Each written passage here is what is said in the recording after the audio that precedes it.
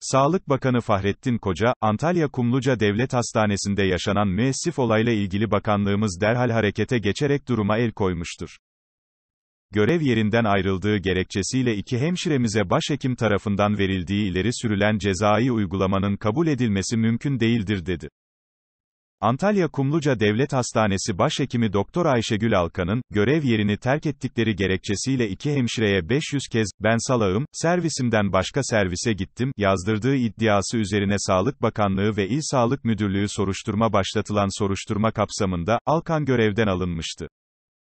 Sağlık Bakanı Fahrettin Koca yaşanan olay üzerine yazılı bir açıklama yaptı. Bakan Koca, başhekimin davranışı kabul edilemez.